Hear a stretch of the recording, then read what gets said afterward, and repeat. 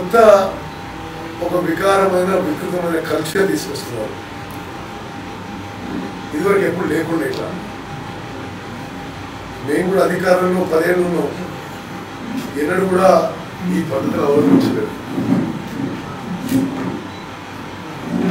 బలవంతంగా ఫోన్ చేసి కండవలు కప్పడం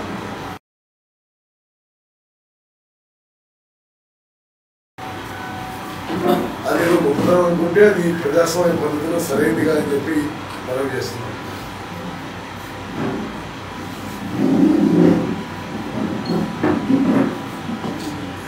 ప్రత్యేకంగా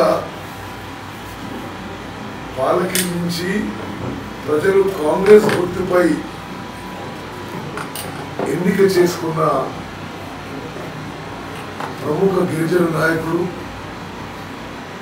ఆ ప్రాంతంలో ప్రజా జీవితంలో ఒక ప్రత్యేక స్థానం ఉన్న మరి మోతీలాల్ నాయక్ గారు గతంలో సర్పంచ్ చేసిండు ఎంపీటీసీ సర్పంచ్ చేసిండు ఎంపీటీసీ ఉన్నాడు. మోతీలాల్ నాయక్ ఇప్పుడు సర్పంచ్ ఆయన భార్య ఇప్పుడు కొన్ని ప్రత్యేక పరిస్థితుల్లో మరి చాలా పెద్ద పదవులు ఉన్న వాళ్ళు మరి ముఖ్యమంత్రి నివాసాన్ని తీసుకుపోయి బలవంతంగా కండవ కప్పడం ఇది సరైన విషయం కాదు. పెద్ద పదవులు ఉన్న వాళ్ళు కొంత ప్రజాస్వామ్యాన్ని పద్ధతులను గౌరవించాలని కోరుకుంటున్నాం. వారు కాంగ్రెస్ పార్టీలోనే కొనసాగించుకున్నారు. వారు ఎప్పుడు కూడా ప్రజల మేలు కోరే పని చేసి అదేవిధంగా జితేందర్ రెడ్డి గారు కాంగ్రెస్ గుర్తుపై కాంగ్రెస్ అభ్యర్థిగా మార్కెట్ సర్పంచ్గా గెలిచారు. వారు కూడా కొంత ఒత్తిడి పెట్టి కలువ కప్పడం జరిగింది. గులాబీ కలువ అదేం లేదు. మేము యథాతథంగా కాంగ్రెస్ పార్టీలో కొనసాగుతున్నాం. మరి జితేందర్ రెడ్డి గారికి పాలకీడు గ్రామంలో చాలా ప్రజా ఆదరణ ఉంది. కొన్ని ప్రత్యేక పరిస్థితుల్లో వాళ్ళు కన్నా చెప్పడం జరిగింది. ఇప్పుడు వాళ్ళే చెప్తారు ఇదేం లేదు మేమైతే కాంగ్రెస్ పార్టీని కొనసాగుతున్నాం. మా కుటుంబాలు మా కార్యకర్తలు కూడా ఎవరిది ఇట్లా ఒప్పుకుంటున్నారు నేను మీడియాకి నేను నేను ఈరోజు ఇంకా ఎక్కువ మాట్లాడుకోలేదు. మీడియా ఒకటే చెప్తున్నదంటే నరేంద్ర రెడ్డి గారు మీరు చారి గారు అందరూ కూడా ఈ వాస్తవాన్ని మీరు గ్రహించి మీ విశ్లేషణ కూడా మీరు రాయాలి. ఎన్నిక ఇప్పుడు బాగా మనకు అండగా ఉండే నాయకుడు లేడు కాంగ్రెస్ పార్టీతో గుర్తున్న వ్యక్తి మీరు ఇలాంటి పనులు చేయడం మంచి పద్ధతి కాదని వారు కోరిక మేరకు వారి ఇబ్బందులు గుర్తించి మళ్ళీ ఈరోజు పిసిసి అధ్యక్షుడు మా నాయకుడు ఉత్తమ్ కుమార్ గారు. ఇంటికి వచ్చి ఇలాంటి వాళ్ళు కూడా కాంగ్రెస్ పార్టీ నుంచి పోతే కార్యకర్తల పరిస్థితి ఏంది? ఈ టైంలో వాళ్ళు ధైర్యం చెప్పాల్సిన మీరే ఒత్తిడికో భయపడి భయ భయానికి లొంగితే మామూలు కార్యకర్తల పరిస్థితి ఇబ్బందులు ఇబ్బందిగా ఉందని వారి కోరిక మేరకు మండల ప్రజల కాంగ్రెస్ మొన్న ఎన్నికల్లో జెడ్పీటీసీ ఎన్నికల్లో నేను అంతకు ముందు టీఆర్ఎస్ పార్టీలో ఉన్నాను. ఈ వారు టికెట్ ఇచ్చే పరిస్థితి లేదు మనం కూడా ఇంట్రెస్ట్ లేదు.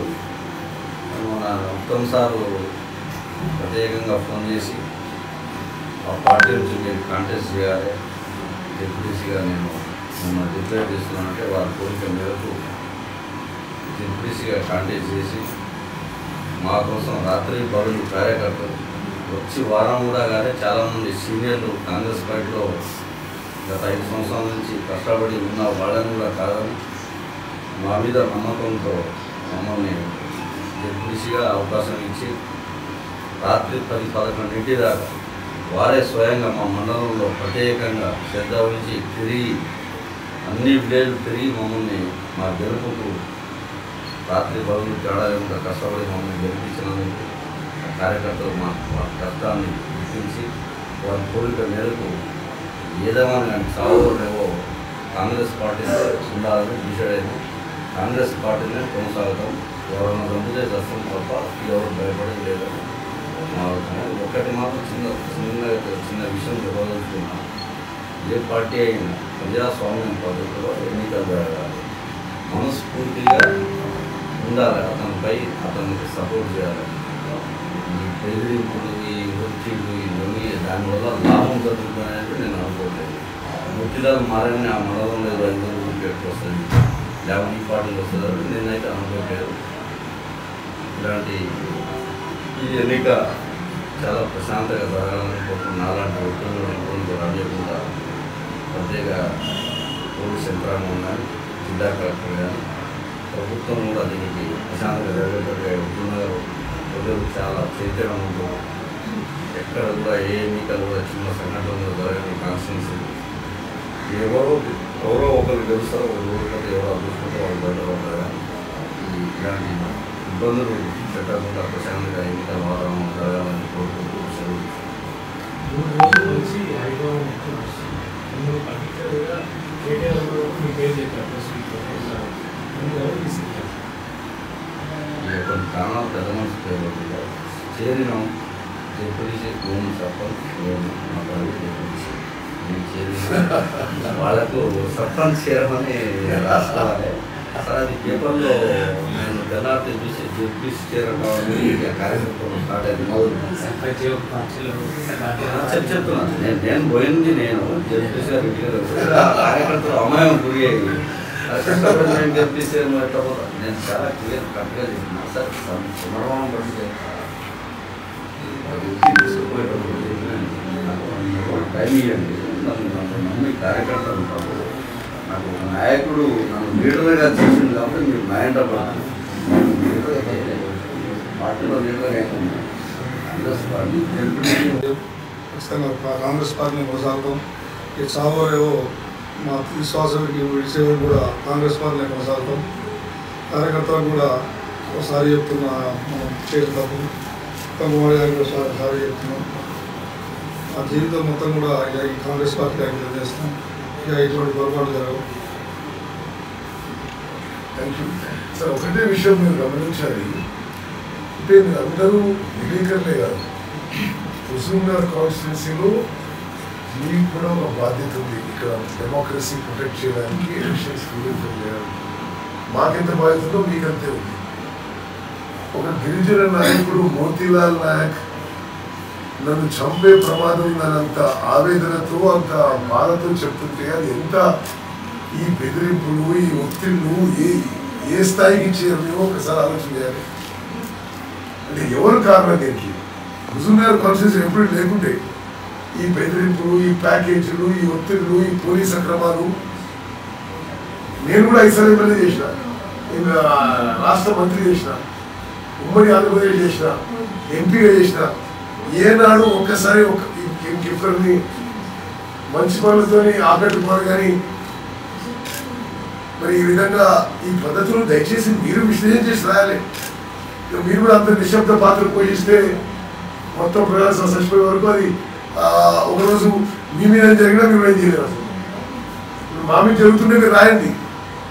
అంటే చాలా యూనో మోతీలాల్ నాయక్ ఇరవై ఏళ్ళ రాజకీయం వచ్చి ఇరవై ఏళ్ళు రాజకీయం ఉన్నాయన ఇరవై ఏళ్ళు రాజకీయం ఉన్నాయన అతని చంపే ప్రమాదం ఉంది అని అంటుంటే అంటే ఏ స్థాయి పోతున్నాం మనం? ఏ స్థాయి పోతున్నారు బెదిరింపులు ఒత్తిళ్ళు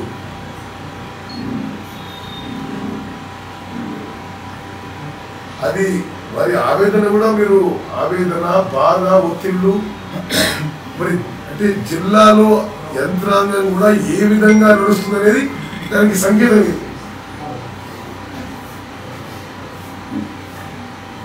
దయచేసి మీరు కూడా ఈ విషయాన్ని మరి ప్రభుత్వ అధికారులు ప్రభుత్వం పెద్ద మనుషులు ఎందుకు చేస్తుందో మీరు గమనించాలి. దాని గురించి సరిగ్గా మేము మాత్రం ప్రజాస్వామ్య పద్ధతిలో అన్ని స్థాయిలో పోరాటం చేస్తాం తప్పనిసరిగా ఈ ఎన్నికల్లో హుజూర్నగర్ బై ఎలక్షన్స్లో కాంగ్రెస్ అభ్యర్థి పద్మావతి గారు ముప్పై వేల మెజారిటీతో గెలవబోతున్నారు. మరి మోతీలాల్ గారు జితేందర్ రెడ్డి గారికి నా ధన్యవాదాలు. ఇదే విధంగా ఒత్తిళ్ళకు బెదిరింపులకు ప్యాకేజీలకో పార్టీ మారిన కాంగ్రెస్ కార్యకర్తల నాయకులందరూ కూడా తిరిగి సొంత గుడికి రావాలని కూడా ఈ సందర్భంగా అప్పీల్ చేస్తున్నారు